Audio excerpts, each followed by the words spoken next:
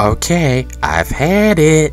There's only two good fishing games for the PlayStation 1, those being Action Bass and Big Ol' Bass 2. Everything else is trash.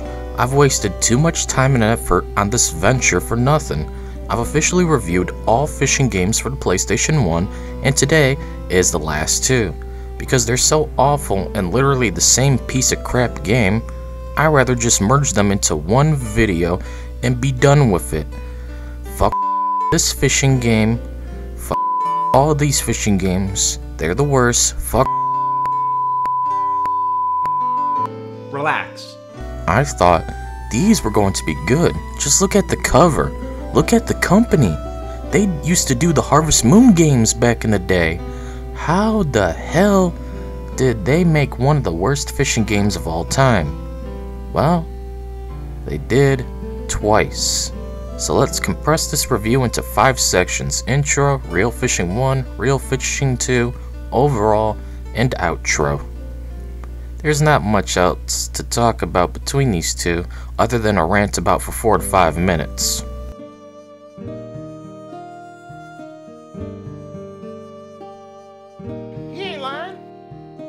So, the first game started out promising with a neat little intro. You see a fishy in the water, and then it eats the camera like a worm. Then it craps you out, and the logo appears. Is this poetry?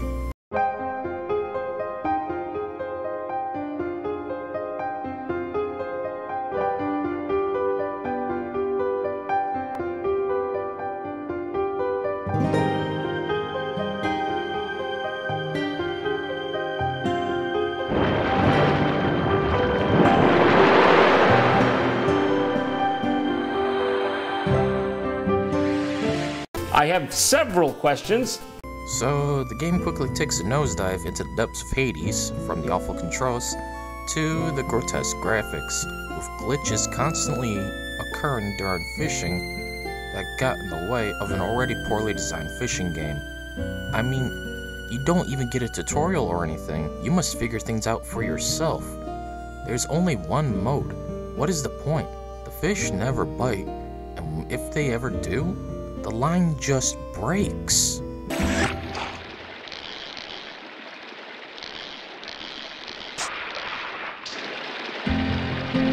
Oh well, try it again. Except you have no idea how to reel it in the fish because the line breaks quicker than a Ford pickup truck. Based. So then I tried more and more and more and more and more. The line kept breaking, so I tried relaxing the line. The hook comes off. Then there's times where the fish takes the bait and leaves you with nothing, or the fish simply lets go.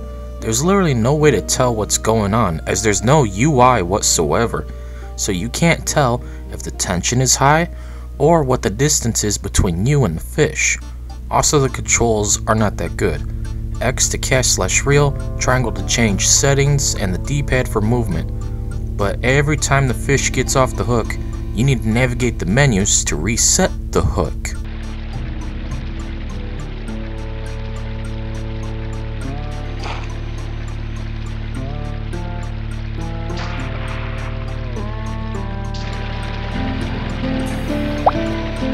There's only one location to fish at, at first anyways, and it sucks. The graphics are atrocious, just look at the awful design. The perspective is awful. I can't tell what angle things are. I can't even tell where the fish are because they're so tiny. Because they have those little silhouettes like in Animal Crossing. Screw this game. After trying to play it for an hour and never catching a single fish with no help from the game, I gave up. Time to move on to the sequel. It can't get worse, right? It can and it will, and here it is. The sequel isn't much better. They did make the graphics nicer, but that's about it. The game still controls awful, and there's no explanation for anything. Also, there's only two locations now a freshwater lake straight out of Friday the 13th, and a generic island in the ocean, both featuring fish that don't ever bite. No, seriously, I wasted an hour and only had one bite, but get off the hook. Honestly, I'm starting to think developers just put out these games for the craps and giggles out of it. And there's like what? 14 of these fishing games for the PlayStation 1? We've had Action Bass, Bass Landing, Monster Bass, Big Bass Fishing, Bass Rise, Saltwater Sports Fishing, Big Bass World Championship, Big Old Bass 2, Black Bass with Blue Marlin, EA Sports Championship Bass, Fisherman's Bait a Bass Challenge, Fisherman's Bait 2, Big Old Bass, and now Reel Fishing and Reel Fishing 2. Out of the 14 fishing games for PlayStation 1, only two are good. Some are mediocre, and the rest are garbage. What a world we live in. Well, this was a fun little adventure. Not really.